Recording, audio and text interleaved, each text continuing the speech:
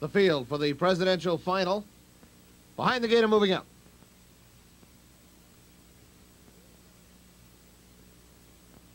Here they come. And uh, they're off.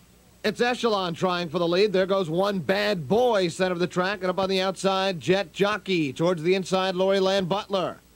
Round the first turn, they scramble for position here. Lori Land Butler has the lead early with one bad boy sacking the outside echelon on the move.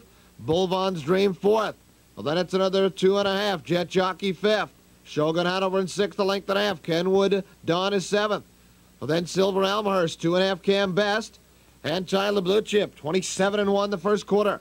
Down the back stretch they go, and it's Echelon with the lead. One bad boy on the outside to challenge, with Lori Land Butler in third. Well, that's Jet Jockey, the outside fourth. Campbell will pick up that cover with Bulvan's Dream fifth. Kenwood Dawn to the outside flow sixth. Shogun Hanover seventh. Silver Almahurst is eighth. 54 and 3 lively clip and it's Jet jockeying out of the front. Bulvan's Dream will come up alongside, and Campbell with Bulvan's Dream making a big move here to take the lead as they approach three quarters. Jet Jockey is second, with Kenwood Dawn third. The outside, Silver Almahurst fourth. Cambest fifth. Three quarters, 122 and four. Three sixteenths to go, and they're on their way home.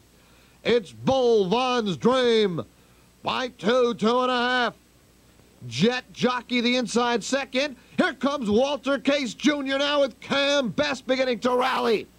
A 16th to go. Bulvan's Dream and Campbell. Cambest and Case on the outside, and Cambest is zooming by to win the presidential in 151 and 2.